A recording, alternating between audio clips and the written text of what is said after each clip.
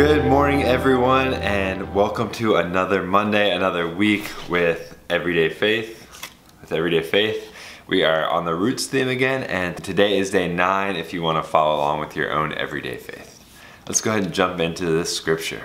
The axe is already laid at the root of the trees.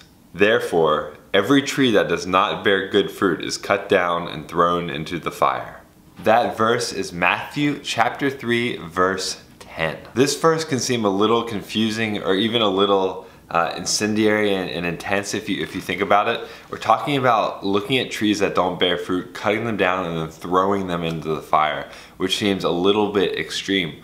But it's a great way to kind of look at our own lives. As Christians, we should always be conscious of people, relationships, spiritual practices, jobs, you name it, that aren't bearing good fruit or aren't bearing fruit at all. Those trees that aren't bearing good fruit could definitely be leading you down the wrong path or at minimum taking up time and effort that you could be expending towards trees that do bear good fruit and that increase and strengthen your faith and your relationship with God, which is why it's so important to be conscious of of what in your life is is and isn't bearing fruit. As we start the new year, this is a great time to reflect on that because this month we're talking about growing those deep roots. So you're, you're gonna wanna really concentrate on growing roots and rooting yourself in practices and relationships that are bearing good fruit this year so that you can have an amazing 2017 and a year that's filled with God's glory and redemption and love rather than spending time going down the wrong path that, that might lead you astray this year. Today, think about the, the fruit you're experiencing in your life right now. Is it the,